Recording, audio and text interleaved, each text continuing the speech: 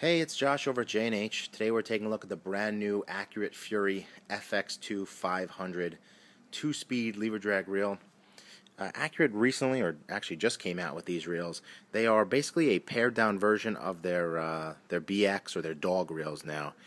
Uh, basically, what they did was they wanted to come out with a, a reel that was a little bit, little bit more affordable to the public, so that more anglers could could use accurate technology and get the benefits of fishing an accurate reel and just you know accurate is all about having a an excellent fishing experience. So when people say oh i could catch the same fish with a $50 reel yeah you could but it's not going to be as much fun it's not going to be as much as enjoyable and uh, this is one of those fun reels. Uh, retails for $389 which is significantly less than um, what it would be if it was a the Dawg version which is you know over 600 and um, they did a really nice job. It's all aircraft aluminum uh, this is a brushed metal finish instead of the traditional, you know, that high glossy silver that you're probably used to seeing uh, when you see accurate reels. Uh, they got rid of the cast control, but it does still have the uh, the nice clicker, which is nice and loud. Still has their uh, world-class lever drag system, which I still believe is the best in the world. it's really smooth, very easy to operate. their two-speed mechanism, same thing. You know, push it in, that drops it down to low. You know, push the button to pop it out. Um, really nice, oversized, uh, rubberized handle. They went from metal to uh, to rubber. The rubber is really comfortable. You know, most modern reels do use the rubber handles. They're durable, easy to clean. Uh, they're very comfortable.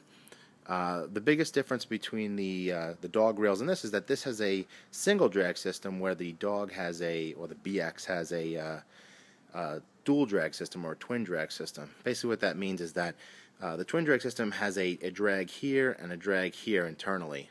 Um, and when you apply drag, it pushes evenly together, similar like what's on a uh, car, you know, disc brakes. Uh, whereas this reel just has it on one side pushing in this way. So it's only got a single drag system, which is very similar to what Avets have or Penn reels or any of the Shimano lever drag systems. They're all single drag unless they specify that they're dual. Um, basis brings the cost down significantly. So like I said, instead of 600, you're at you know 390 just about. Uh, you still get 20 pounds of drag, so you're getting a ton of drag out of this reel.